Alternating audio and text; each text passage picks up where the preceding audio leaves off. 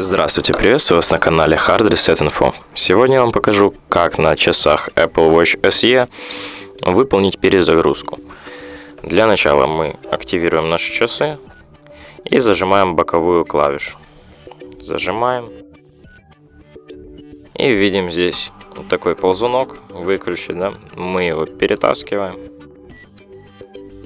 И ждем, пока наши часики полностью выключатся.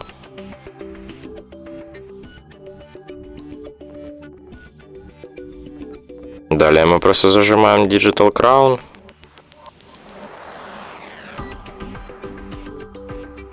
И как мы видим, сейчас наши часики перезагружаются. На этом у меня все. Всем спасибо за просмотр. Подписывайтесь на канал, посещайте наш сайт hardreset.info. До скорых встреч!